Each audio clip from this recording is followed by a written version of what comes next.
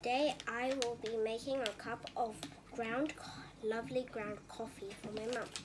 First of all, get this kind of coffee, tear off that top, then you put the two areas, put them on, squish it down. After, pour in the hot water.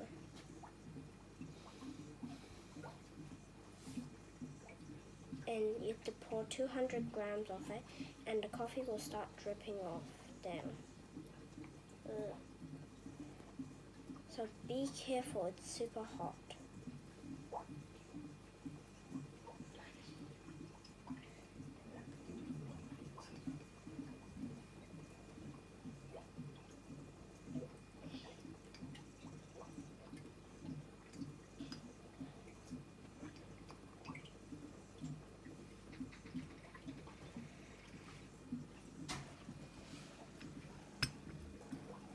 Coffee will start dripping down.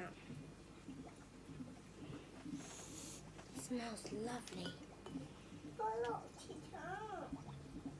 Be careful.